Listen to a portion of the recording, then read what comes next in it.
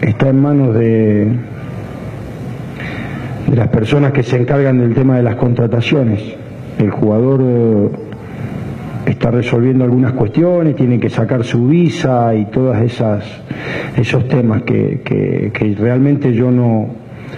desde mi punto de vista, yo lo puedo aprobar técnicamente o futbolísticamente y decir un jugador que nos puede servir, que nos puede interesar. Eh, después,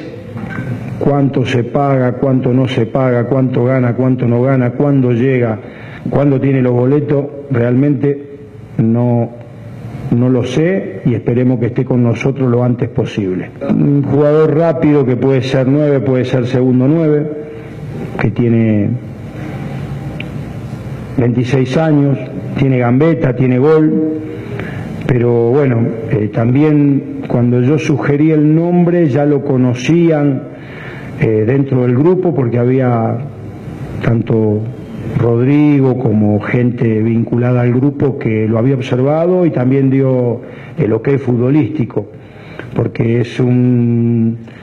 como quien dice, es un trabajo en equipo, uno puede mencionar un nombre, pero tiene que recibir eh, el visto bueno de varios lugares y bueno, en este caso por este jugador lo recibió, así que, esperemos se, se una a nosotros lo antes posible.